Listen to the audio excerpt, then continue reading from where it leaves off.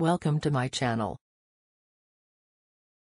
D-Link DHP600 AV Powerline Factory Reset.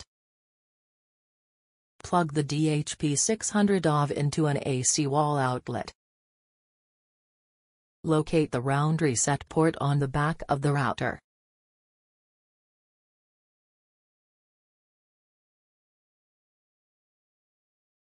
Use a straightened out paper clip to press and hold the reset button for 10 seconds. Release the reset button after 10 seconds.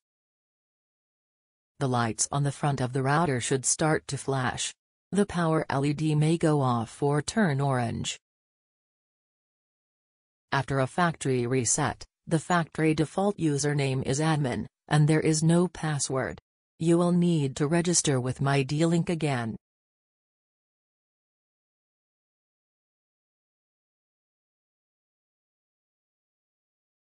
Thanks for watching.